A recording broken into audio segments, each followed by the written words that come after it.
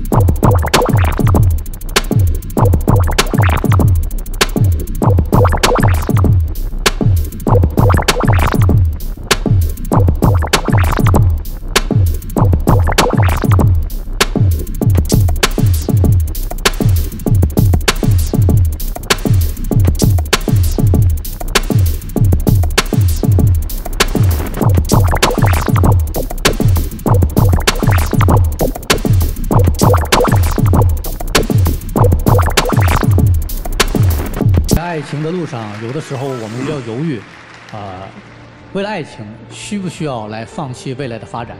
比如说出国也好，考研也好，这个本身没有对与错之分，但是在我看来呢，应该有一个标准。如果女生自己愿意，我放弃出国考研的想法，那我们可能会说她为这份爱情做了一些取舍。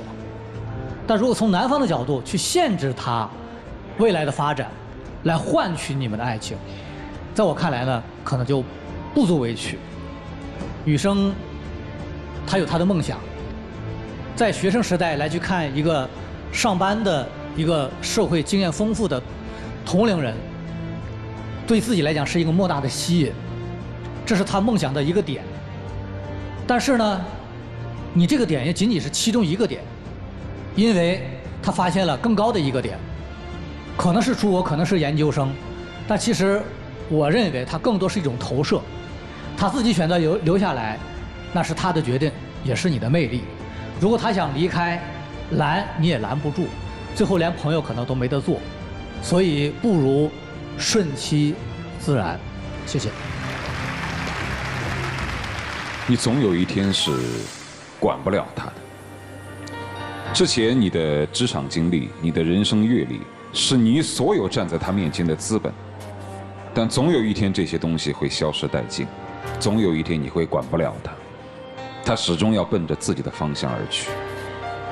其实，在上一期节目当中，同样有这样一对男女，女生是本科生，男生是个初中生，只是那个男生太不争气。其实你是争气的，哎，你别一天到晚六神无主，行不行？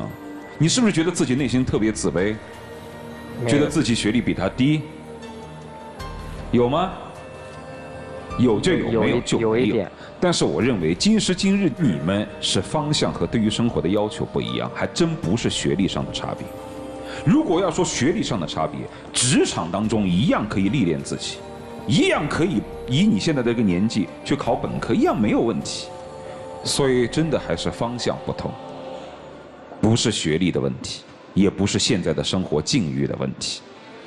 所以其实，如果在生活当中是彼此对于生活的要求和那个点是不一样的，那彼此在一起会非常累，互相将就，心有不甘，迁就对方自己又没能力，或者又不喜欢，那与其如此，不如让对方用自己最适合、最舒服的方式生活着，好吧？好，谢谢老师。我其实觉得你们这段感情特别的纯真，就在纯真时代的爱情，你们怎么选择都不为过。出国你就好好出你的国，留下你就好好留下来，都没什么。每个人人生际遇是不一样的，什么自卑不自卑的，生存能力特别强，特别棒。接着顽强的生长下去。还有一点，保持你现在的善良之心，好吗？女生，没有人会拴着你不走。就你真想走，没有人能拴得住你。在我看来，只是因为你心里还爱着这个小男生，要不然你早走了，谁拴得住啊？所以你们现在要做的事情特别简单，个人想干嘛就干嘛去。你去做国际义工，如果你还爱着他，你们不能微信视频啊。其实方式更多，自己定吧，好吗？祝你们开心。